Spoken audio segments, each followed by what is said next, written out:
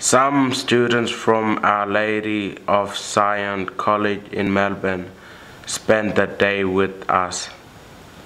Aboriginal artist Ruth Cook held some art workshops.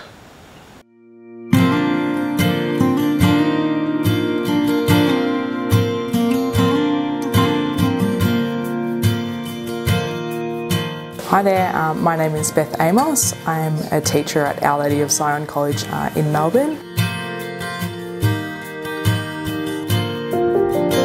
So we're currently on a trip um, at the moment in Central Australia with a group of students from Our Lady of Sion College.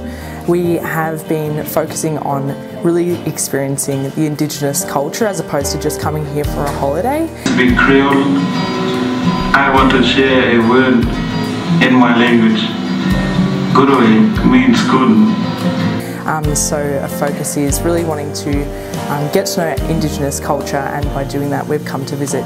So we've come to visit Yirara College today uh, to really understand what is what it's like to be at a school here in Alice Springs um, and how it's different from our school uh, back in Melbourne also. We're visiting multiple locations across uh, the Northern Territory.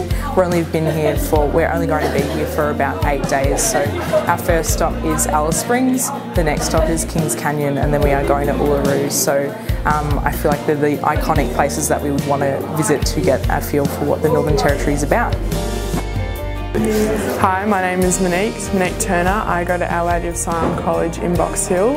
I'm in art class at the moment and I was able to sit next to America and Tara and while we're um, doing some of our own paintings or dot paintings I got to have a really good conversation with both of them and really find out what it's like for them living here.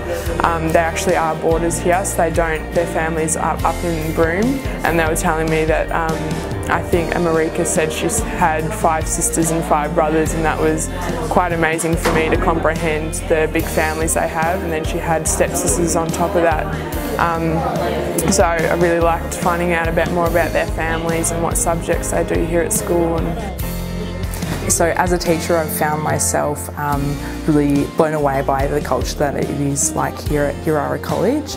Um, there's a real strong community feel here and that's something that we also experience at our school. Before we left Melbourne to come here, um, I had a bit of a preconceived idea of what it would be like in Central, in Central Australia.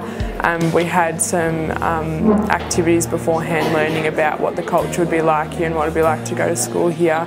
And I think stepping off the plane and into the airport, it really made you feel what we were learning about, not just talk about it. And um, coming to the school today, um, it's been a really good community feel and I feel, I think all of us feel very welcome here, so that's really good and I'm really looking forward to the week we have ahead and finding out more and experiencing more about the culture of the Indigenous people.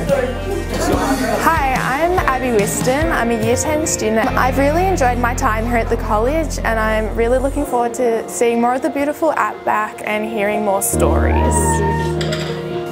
Um, so I know that even though we've only been here for a short time, we've already had such a positive experience here and we are really looking forward to potentially coming back here with another group of students that would have just the best time also.